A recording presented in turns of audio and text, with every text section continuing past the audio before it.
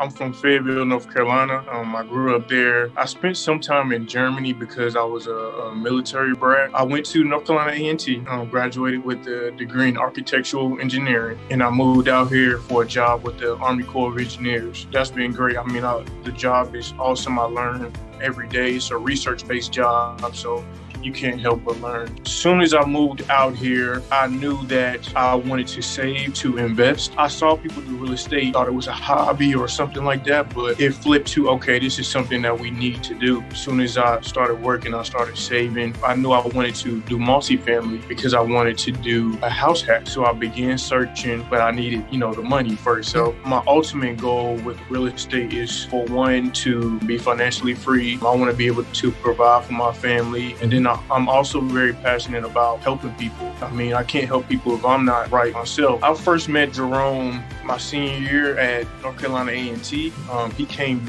back and helped out with some projects. We did some projects for him as if we were the architect for Jerome's development. I still remember that project. I called it Tiny Myers. It was a group of six tiny homes. I stayed connected with them, LinkedIn, and when I moved and really got serious about real estate, I saw that he was teaching real estate, buying real estate. Um, I connected with him. He was helping me and giving me tips, and I still made mistakes e- even then mm-hmm. with him by my side because I didn't. I guess I got overconfident at, at, at some points to where I felt like, okay, I have enough information to make this move, but end up still making mistakes. But like I said, he's been helping me for a year through his podcast and then some one-on-one meetings. Once I realized I made those mistakes and I saw that he has a course, I was like, it's time to invest in my education and get right with real estate. Like I didn't know everything that could go wrong, so that's why I was so confident. Podcast and the course has been helping me learn those things. I would have to say the market analysis, learning how to